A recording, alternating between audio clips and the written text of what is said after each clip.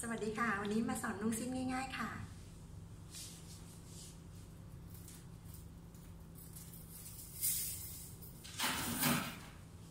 วิธีการนุ่งซิ้นนะคะ นุ่งสองชั้นค่ะทบให้เท่ากันซ้ายขวา ใช้เชือกมัดค่ะ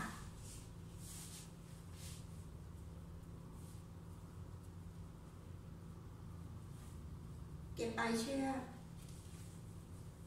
ทบหัวสิ้นลง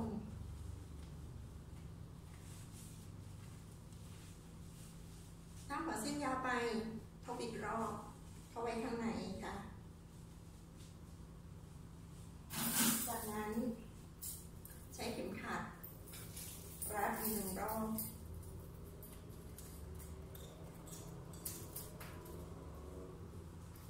เรียบร้อยสวยงามค่ะ การนุ่งสิ้นง่ายนิดเดียว แล้วเจอกันใหม่ค่ะ